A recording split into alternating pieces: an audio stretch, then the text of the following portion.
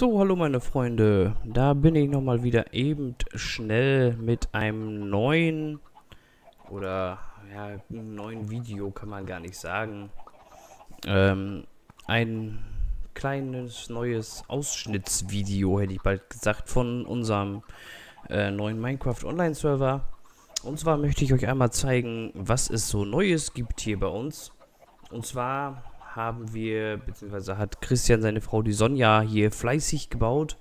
Wie ihr seht, ähm, haben wir hier einen äh, Zaubertisch, ja, wo wir Sachen verzaubern können.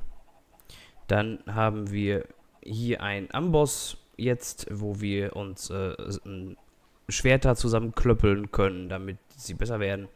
Wir haben hier ein Braustand, wo wir uns äh, Zaubertränke machen können. Dann haben wir jetzt neu hier. Das funktioniert nicht. Ein, ähm, ein, ein, ein, ein, ein, genau. Vergessen, ein, ähm, ein, ein Tank oder wie sich das nennt, zum äh, Einfärben von Sachen. Zum Beispiel, hier haben wir schon ein paar Tränke drin, Glasflaschen, ja, fermentiertes Spinnenauge, Netherwarze, was wir brauchen, um hier äh, ähm, Tränke herzustellen, zum Beispiel Wurftrank, äh, Schwäche.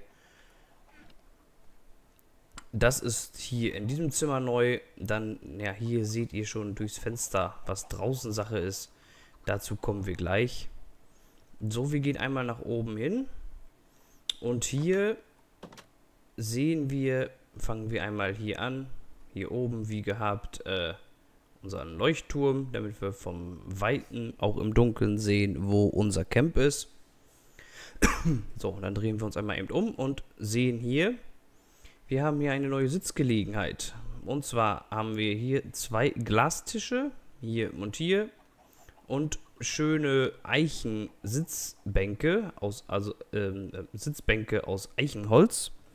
Das hat meine Tochter heute gebaut.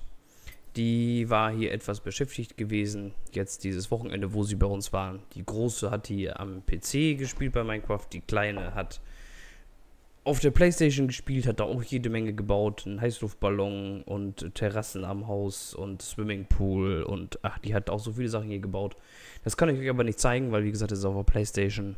Und dann müsste ich erst mit der Elgato aufnehmen. Ähm, des Weiteren haben wir hier jetzt neu, das war ja vorher unsere normale Terrasse, haben wir jetzt hier auf unserer Terrasse hier einen kleinen Pool, den wir nutzen können. Ist jetzt neu. Hier ein kleiner Pool mit Glasboden, wo wir bis nach unten gucken können. Und der Holzzaun, der vorher hier stand, steht jetzt auf der neuen Glaswand, damit auch hier keiner runterfallen kann. So, das war das hier oben gewesen. Dann gehen wir jetzt einmal nach unten. Genau, hier unten muss ich noch sagen, es sieht jetzt mittlerweile sieht es wieder aus, so wie immer, aber wir hatten auf unserem Server Besuch gehabt von Leuten, die äh, nicht zu uns gehört haben. Und die haben uns hier mal systematisch alles voll TNT gepackt. Und als ich heute Morgen äh, das erste Mal wieder das Haus betreten wollte, kommst du rein und hier war wirklich alles voll TNT. Kommt man rein und es explodiert nur noch alles und das halbe Haus ist weggesprengt und man muss alles neu machen. Ähm, ja, ich habe alles wieder aufgebaut, so wie es war. Und das ist sehr ärgerlich. Genau das gleiche war hier unten. Wenn wir hier einmal runtergehen, ja, sieht man, hier ist noch ein Loch von auch einer Sprengung. Hier habe ich mit Granit jetzt zugebaut. Und zwar hatten wir, wenn man hier zu unserem Angelteich geht, sieht man, dass hier ist kein Glas mehr drin, sondern Granit. Vorher war das Glas gewesen. Haben die hier auch äh, TNT hingepackt mit irgendwie auch immer die das gemacht haben, mit einer Selbstauslöserfunktion hier außen. Ich war draußen, habe Sand abgebaut, habe den Auslöser getroffen und habe mal direkt hier diese ganze Ecke weggesprengt. Ähm, ja, auch alles neu gemacht, wieder repariert und zugemacht. Es ist sehr ärgerlich, wenn Leute auf den Online-Servern kommen von anderen, also von uns jetzt in diesem Fall, und äh, sabotieren hier so die ganzen Sachen, dass man wirklich alles kaputt hat hier. So, dann fangen wir hier einmal an. Ich muss mal eben gucken. Und zwar muss ich hier mal eben was hinmachen, damit wir da hochkommen. So, hier in die Treppe hoch. Wir haben hier eine automatische Hühnchenbrüterei. Ja, wir sehen hier oben sitzen die Hühnchen drin und sind fleißig am Eierlegen. Hoppala. Zwei Stück zu weit. Ja, so, auf alle Fälle sind da die Hühnchen am Eierlegen. Jetzt mache ich hier mal eben eine Stufe hin, dann können wir hier hoch. So. Dann schauen wir jetzt. So, da sind die Hühnchen, legen Eier. Die Eier fallen durch diesen Trichter hier unten rein. Sitzen dann da drin in der Brutmaschine, hätte ich jetzt bald gesagt. Dort. In dem Werfer. Und hier daneben haben wir Lava. Und dadurch werden die irgendwie, wie das genau funktioniert, kann ich nicht sagen. Ähm, werden die Eier hier rüber geleitet. Da ist Lava drin und unter der Lava befindet sich wieder ein Trichter mit einem mit einer Truhe, wo, wenn man an die Truhe jetzt dran geht und in die Truhe guckt, Inventar, nein, wieso funktioniert das nicht? So, jetzt Truhe. Haben wir hier Federn drin und gebratenes Hühnchen. Und irgendwie brät das Ding alleine. Wie gesagt, wie genau das funktioniert, weiß ich nicht. Kann ich nicht sagen. Ich weiß nur, dass es funktioniert und ist auf alle Fälle eine coole Sache. So, weitere Erneuerungen machen wir einmal hier. Wir haben neue Laternen. Schöne Laternen, damit wir Licht haben hier. Des Weiteren hat Sonja fleißig gebaut hier ein Nether-Portal. Wieder mal, damit wir in die Unterwelt gelangen können. So, hier hinten sehe ich gerade, ist ein Skelett. Hat sich hier wo irgendwie hin verirrt. Muss jetzt mal eben dran glauben, der Kollege. Wer zu uns kommt, muss damit rechnen, dass er stirbt. So. Dann sind wir hier hinten schon in der Ecke. Kann ich noch mal eben weiter... Wo kommen die denn alle her? Scheiße.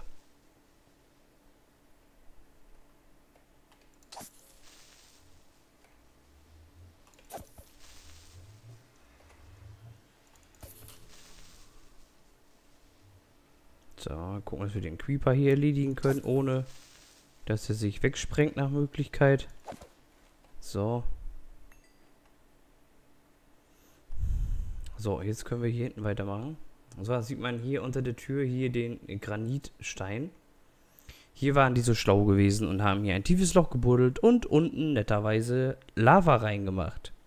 Das heißt, wenn wir oder ich wollte zur Tür rausgehen, und dann ging es auf einmal nur abwärts nach unten. Du standst unten in einem, was weiß ich, wie tiefen Loch und bist verbrannt, weil du nichts mehr machen konntest. Oh, ein Enderman. So, hier ist neu. Unser Hundehotel. Habe ich gemacht. Kann man reingehen, macht man Tür zu. So, da ist das Schild Hundehotel. Schön ein Auslauf Zwinger mit Überdachung für unsere Hunde, damit sie nicht im Trockenen oder im Nassen stehen, wenn es regnet. Ja, hier unsere Kühe und unsere Schweine. Da Enderman. So.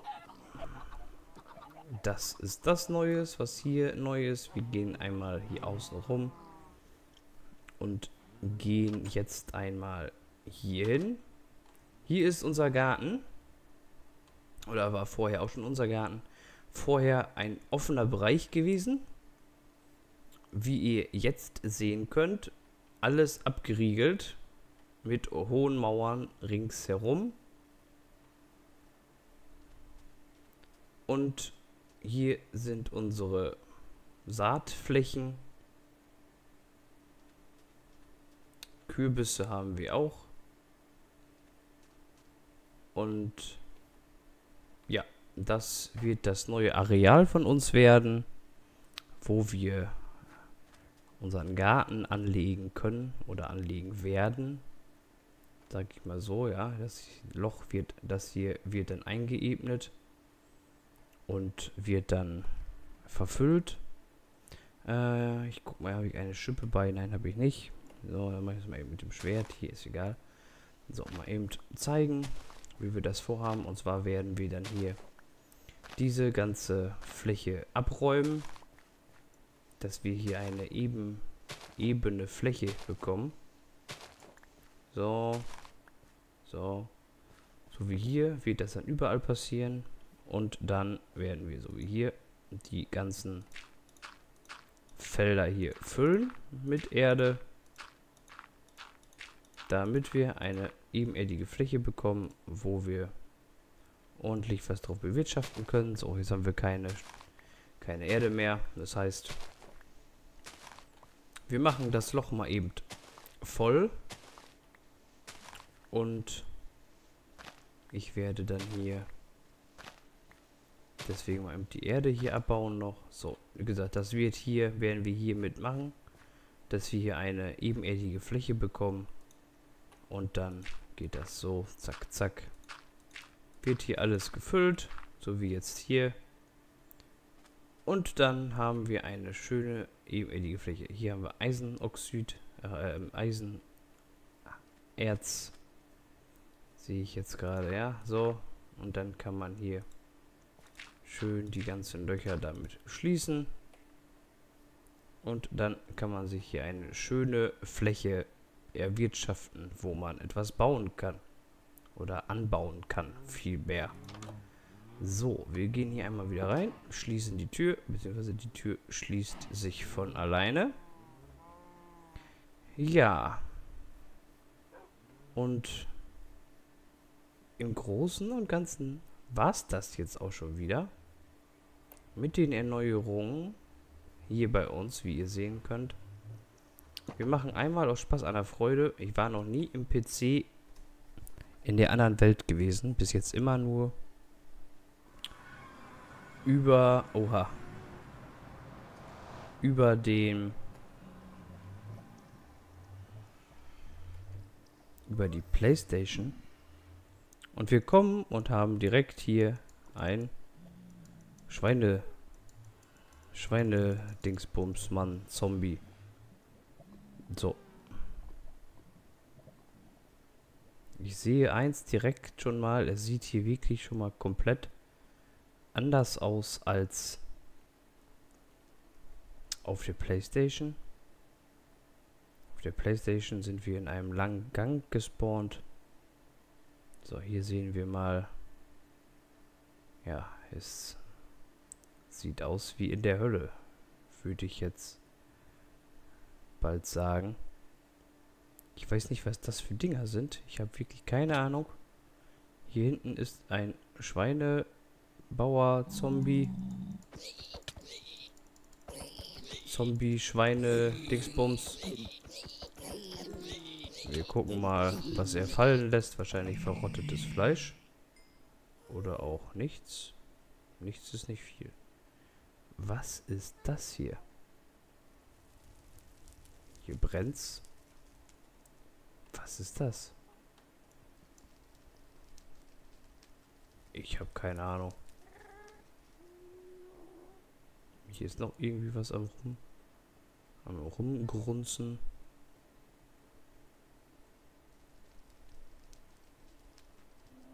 Feuer. Mhm. Da unten ist wieder unser Nether-Portal.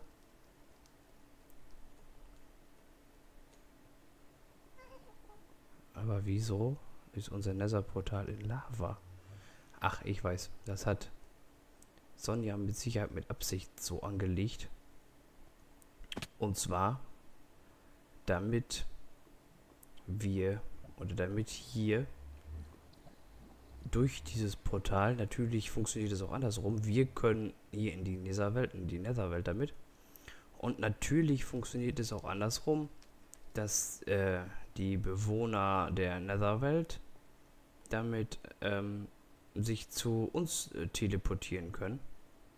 Das ist das, was wir beim oder bei der Playstation öfter hatten, wenn auf einmal diese Schweinezombies bei uns im Garten stehen. So, guck mal, hier geht's runter. Und hier sieht es jetzt so aus wie da, wo wir oder wo wir mit der Playstation schon waren. Und zwar diese langen Gänge, wo man eigentlich ja nicht viel sieht oder nicht viel findet. Wir gucken mal hier, die Truhe ist leer. Das heißt, hier war Sonja anscheinend schon und hat hier schon die äh, Truhen leer geräumt, die hier gerade gewesen ist. Wir schauen mal, da ist noch eine Truhe. Schauen mal, ist da was drin? Die ist auch leer geräumt. Da ist noch eine Truhe. Die ist auch leer geräumt. Ja. Also hier unten sieht es doch sehr abgegrast aus. Hätte ich hier, würde ich jetzt mal eben so sagen, ja. Hier ist nichts weiter. Wir schauen einmal, hier geht es nicht weiter. Da ist Sackgasse. So, dann gehen wir einmal hier zurück und biegen hier ab. Schauen hier einmal was hier sich so befindet. Ähm, nix. Ich glaube, von hier sind wir gekommen, ne? Stimmt das? Sind wir von hier gekommen? Nein, doch. Ja, doch. Doch, doch, von hier sind wir gekommen. Dann schauen wir einmal weiter, ob wir hier unten vielleicht nicht noch, nicht noch oder vielleicht doch etwas finden. Hier geht es nichts weiter. Hier ist eine Truhe, die ist auch leer. So, dann schauen wir hier einmal rum. Schauen hier mal rechts. Was haben wir hier? Oh, ein Skelett. Oh, und tot. Ja, so, das wäre ihr Preis gewesen. Jetzt stehen wir wieder oben im Schlafzimmer, wo wir auch gestartet sind. Mit einem schönen Ausblick auf unsere ähm, Hühnchenbraterei und unserer Schweinezucht und Kuhzucht und hinten unseren neuen Hundezwinger oder Hundehütte. Und ja, das war eigentlich auch schon einmal eben schnell die Führung durch unsere neue Behausung also ihr seht, es hat sich ein bisschen was verändert. Jetzt nicht, nicht besonders viel, wo wir weitergebaut haben oder weitergebaut wurde. Aber so nach und nach tut sich doch ein bisschen. Und damit ihr auf den Laufenden bleibt, habe ich mir gedacht, mache ich mal eben dieses kurze Video, um euch zu zeigen, was einfach so passiert ist in letzter Zeit. Ich habe auch nicht wirklich viel Zeit im Moment, da ich selber immer oder viel am Arbeiten bin, auch lange. Ja, hier können wir noch einmal gucken. So sieht es von unten aus. Unser neues Swim, unser neuer Swimmingpool. Und ja, da unten ist unser Angelteich. Sieht man das Dach, das Holzdach. Und auf alle Fälle ähm, wird es bestimmt demnächst nochmal wieder Minecraft äh, Let's Plays geben. Äh, Streams hätte ich jetzt falsch gesagt. Das äh, Streams geht ja leider nicht. Ich muss mal gucken, vielleicht können wir mal einen Livestream machen über die Playstation. Vielleicht funktioniert das, wenn ich die nicht über die Elgato und über den PC streame. Vielleicht reicht es dann mit der Verbindung, wenn wir direkt über die Playstation streamen. Und ich denke, das würde ich auf alle Fälle nochmal ausprobieren. So, ich mache mal eben die Verbindung trennen hier. Spiel beenden. Und würde sagen, ja, das waren die kurzen, schnellen Einblicke von unserem neuen oder erweiterten Bauwerk bei Minecraft. Ähm, wie gesagt, die Sauna und der Swimmingpool, beziehungsweise das Bad, wie es auch auf der Playstation ist, wie ihr kennt, wenn ihr die Videos von der PS4 kennt, äh, dann wisst ihr, was ich meine. Kommt definitiv noch, auch auf dem PC werden wir noch bauen. Die Frage ist nur, wann werden wir das zeitlich schaffen. Ähm, da ich gerne, wenn ich die Streams aufnehme, dann äh, Sonja und Christian mit dabei haben möchte, damit wir da eben zusammenbauen können mit denen, die auch wirklich da zusammenspielen in dieser Welt. Und ja, ist halt einfach schöner. Auf alle Fälle bedanke ich mich jetzt für euch fürs Zuschauen hier bei dieser kleinen neuen ähm, Erweiterungsführung bei unserer Minecraft-Welt. Äh, Wenn es euch gefallen hat, lasst mir doch auf alle Fälle ein Like da. Die neuen, lasst mir ein Abo da und aktiviert die Glocke. Dann verpasst ihr nichts mehr, wenn ich was Neues hochlade von Minecraft oder sonstige Spiele, die ich noch im Programm habe. Äh, die Spiele werden noch immer erweitert, es kommen immer mehr neue Spiele dabei. Und ja, aktiviert die Glocke, lasst mir ein Abo da oder andersrum, lasst mir ein Abo da, aktiviert die Glocke, damit ihr einfach nichts mehr verpasst, was passiert hier bei uns oder bei mir auf dem Channel. Und ich wünsche euch jetzt auch einen recht angenehmen Resttag und würde ich sagen, wir sehen uns in dem nächsten Video wieder. Haut rein und ciao.